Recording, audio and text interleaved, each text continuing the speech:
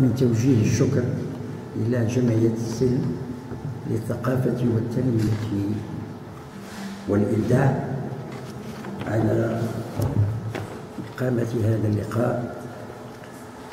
والشكر موصول أيضا لكل المذيعين الأصدقاء الذين حضروا هذا اللقاء.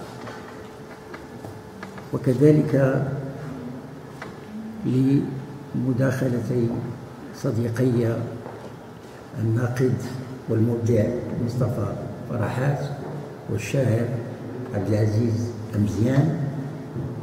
وأشكر كل الجنود الذين كانوا وراء هذا اللقاء والمنظمين وكل من ساهم في هذا اللقاء. أه سأختار مقاطع من الأعمال الكاملة. ما نشد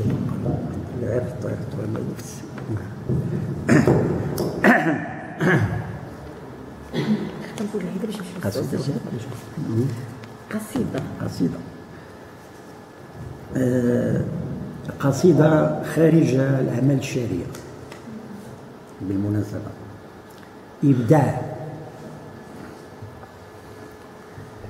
لن تعاتب هذا الغبار الذي قد نسجت قصيدا بذراته فمحاه. أو تلوم رياحا طفت فاستباحت حماه. أنت وحدك من قد أساء اختيار المداد وجنس الورق.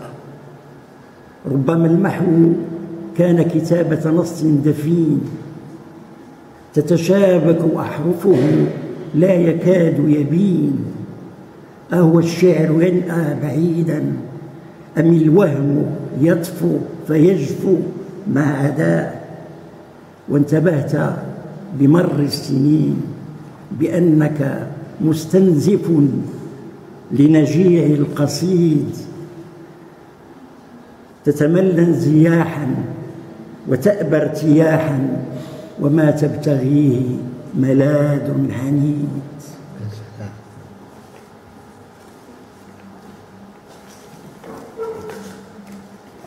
لم يكن ظمئي موجعا فاكتفيت بشرب السراب.